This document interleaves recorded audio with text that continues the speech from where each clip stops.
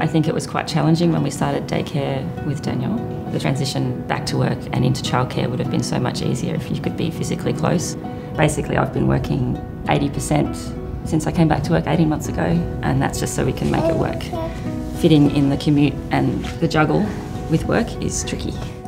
For the last 40 years, more than half of our PhD students and half of our postdoctoral researchers have been women.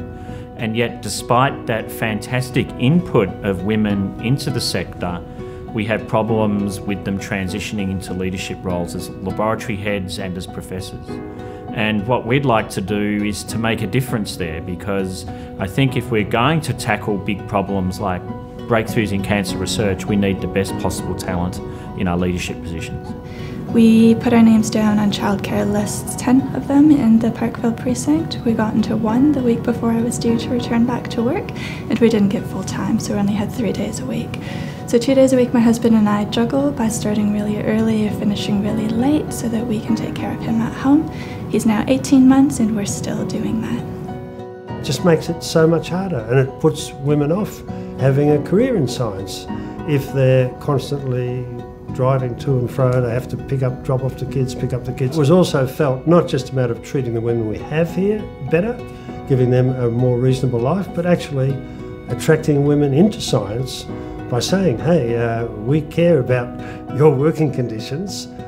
Having a facility literally on our doorstep means that both men and women can juggle their carer responsibilities with their professional responsibilities much more easily. To be able to reduce the stress both on the child and the parent, I think, can create an individual who is much more balanced in the way they approach their work, and for us, that translates into much more creative and much more productive. And I think anything we can do to reduce stress, make work life balance easier, will for us lead to a much better workforce. I think it's important because it brings parents back into the work community and it enables them to be flexible and available for their work, for their careers, as well as their children. Having it a few steps away just makes it a lot easier and um, comforting, I think, as well as a parent. We could see that this was a very practical way to support female scientists uh, being able to juggle that life work balance and to continue their important careers with their brilliant brains and have the family at the same time. People talk about impact investing, and to me, the biggest impact you can have on someone is trying to improve the quality of their lives. And I think that's what medical research is all about. Construction of a childcare facility will provide the opportunity to you know, not just have a great career, but also you know, with that transition between a career and having a family.